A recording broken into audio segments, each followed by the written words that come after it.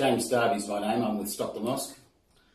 Stop the Mosque is a organisation which uh, has a name that uh, represents itself. I have the pleasure today of being with Zahee. Zahee was a Right. real treat to meet you and, and a heartbreaking experience for me as well. Um, when you told me that uh, there's no Christians left alive in Mosul, Mosul's the place of your birth. So, about uh, Zahee, uh, it's important for everyone to realise that uh, Zahee is the actual nephew of the past uh, Archbishop of Mosul, uh, now in exile. When I say past, he's still with us. His uh, name is Archbishop Nona, and he is in exile and was the Archbishop of Mosul. Mosul was the place of Zahee's birth. Uh, we've got quite a few questions to go through, uh, Zahee, but I'd like you to tell me about Iraq, northern Iraq, and uh, I'd like you to tell me it was once known as the cradle of civilization. Yeah. The Tigris and the Euphrates, uh, Babylon, the Hanging Gardens of Babylon, and I believe in uh, early 600, Muhammad's son-in-law did, a, did uh, a huge invasion. Tell me what happened next. What, what happened? Well, basically, what happened there is what I suppose ISIS are doing right now, which is a complete genocide. They massacred thousands and thousands of. Uh, it's not known the actual number. Some say it's up to a million Christians, uh, and they. So Iraq originally, or Mesopotamia as it was known then, Yeah, I mean, we're the indigenous people of that country, you know, which is why it's such a tragedy what's happening now over there. You know, but back then, you know, they came in, they massacred, in 600. yeah, so many Christians. Uh, they also forced so many that are Muslims today to convert, you know, their ancestors. So if you go back to their family tree, the majority of their ancestors were Christians. They were forced to convert by the, by the sword.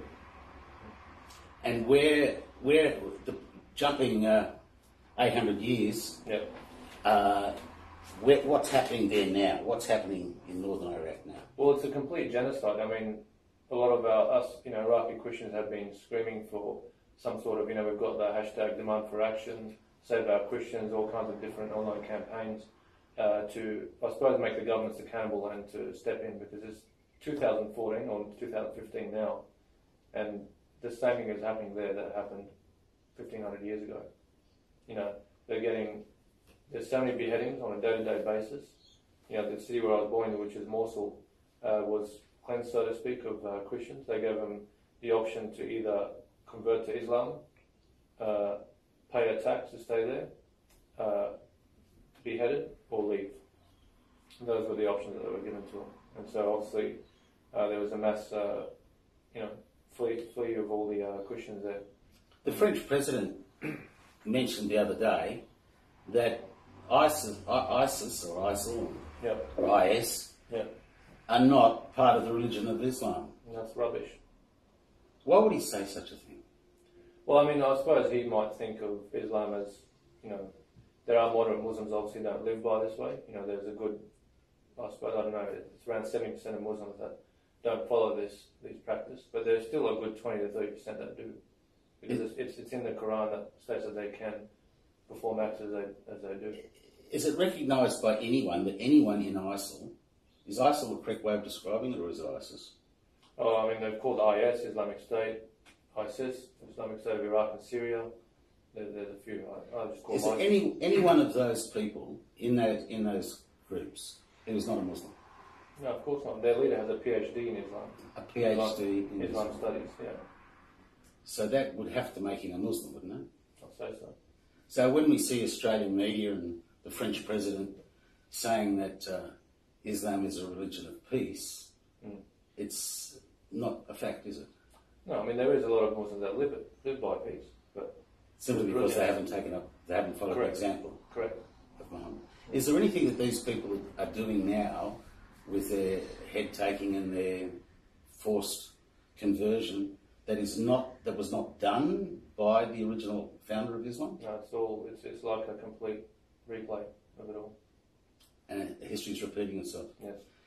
What can we do It to happened, sorry, it happened hundred years ago as well. The Turks did the exact same thing. In Armenia? In, in Iraq, another genocide, all the Assyrians, which is Christian Iraqis, were forced out, mass murders, beheadings, all that sort of stuff. By the Turks? Yeah, selling of sex slaves. You know, they got the Christian women and the Yazidi women. That's what they're doing right now in Mosul as well. They've taken the ones that they've captured and they're selling them off as sex slaves to. Was that what the Turkish invasion of Armenia was about as well? Yeah. And the world sort of thinks it's not that at all. Yeah. Well, that's just fact. It's sort of living with a serious enemy, isn't it? Mm. So, what would you like to see take place now? Uh, firstly, in Iraq, and secondly, in Australia. Well, in uh, Iraq, there has to be. We've been screaming for a, to have a safe haven for uh, people of Nineveh, which is uh, Christian Iraqis. Just to have a safe haven. Can you say their name again? Nineveh. Nineveh. Yeah, Nineveh. Yeah, that's that's where we're originally from. You know, the northern part of Iraq. Uh, they just want to have a safe haven for them, so that you know they they're secure, and they a lot of them. I mean, obviously thousands, hundreds of thousands of you know left Iraq Christians, but there's a lot that want to stay there. You know, it's their land. It's they're the indigenous, indigenous people of that, so they just want to know that they're safe. They want to be given arms to protect themselves. You know, instead of giving them to all the Kurds, they want to actually have you know um, actual a way to defend themselves as well, just to feel safe in that area. Well, many of the Kurds still were Christians, weren't they? No, the Muslims. All the Kurds. Majority of them, yeah. Originally, they were though. Yeah, yeah. What do you think about the situation in Australia, and how should the Australian government react to it? Well, the Australian government needs to obviously. Um, I mean, you can look at you can look online. There's a fellow called Brother Rachid. Brother Rachid. Rachid, yeah, he speaks brilliantly Rachid. of what's going on with ISIS uh, and you know why they're doing what they're doing. There's a video called um, "A Message to President Obama." A message to President Obama. Yeah, it's a YouTube video, brilliant. He just explains exactly what ISIS are doing, why they're doing it. He's a former. Muslim, isn't he? Yeah, former Muslim, so Christian. Um, and he talks about it's a brilliant video to watch. But Yes. and it explains in detail what they're doing, why they've done it. That video, as it happens, is uh, available as we speak on Stop the Mosque. Yeah. It's on the top of the Stop the Mosque There you go. page. Yeah. Yeah. I mean, that's that explains what you know their, I suppose, uh, intent is. And in Australia, I mean, look what happened with that siege the other day in Sydney, for example. Uh, it's a tragedy, but they need to go to the source of that. You know, where was that guy hanging out? What mosques? You know, who were the people that influenced him to, to be that way? They need to be able to go to those people and stamp them out.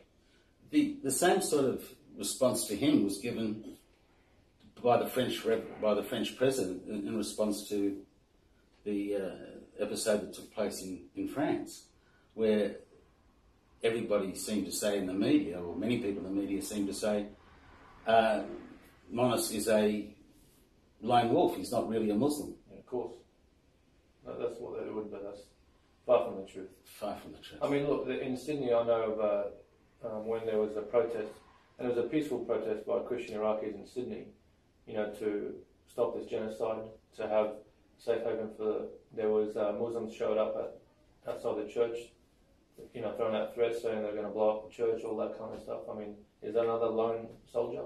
Like there is plenty of these people here in Australia that have got the exact same attitude. Mm. How, how were you when, when you left uh, Iraq? Uh, seven, Seven. You still remember? yeah.